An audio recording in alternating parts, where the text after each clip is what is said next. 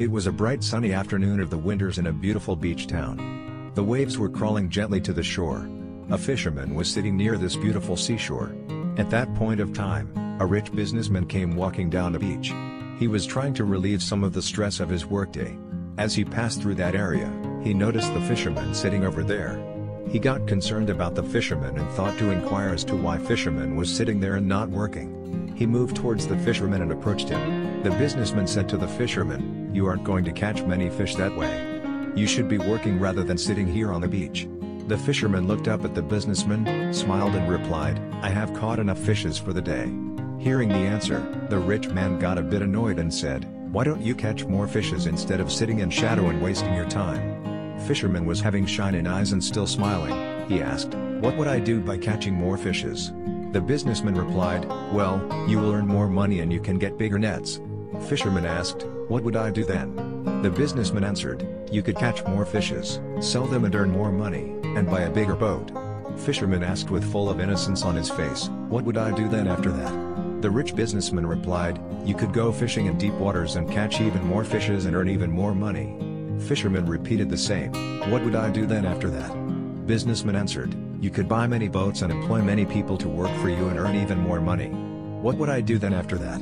Asked the fisherman again. By the time, the businessman was beginning to get a little more annoyed with the fisherman's repetitive question. He said, You could become a rich businessman like me.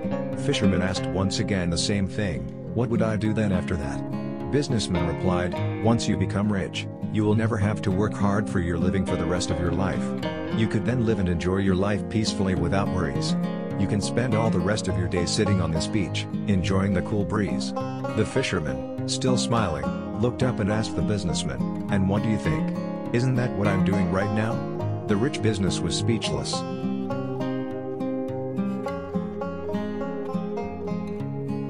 You don't need to wait for tomorrow to be happy and enjoy your life. Life is at this moment, live in the present moment and enjoy it fully. We spend the majority of our lives working, but we seem to forget what we're working for.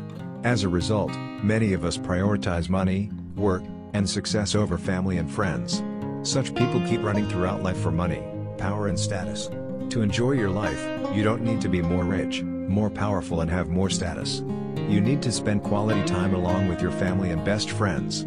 You need to spend time on thing which you love to do.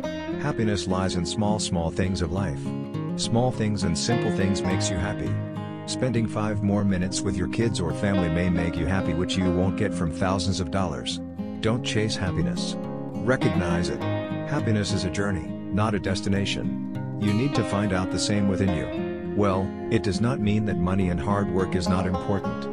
Both of these are a necessary part of life, and the fisherman is evidently a hard worker. But rather than making work his life, the fisherman treasures his family and friends.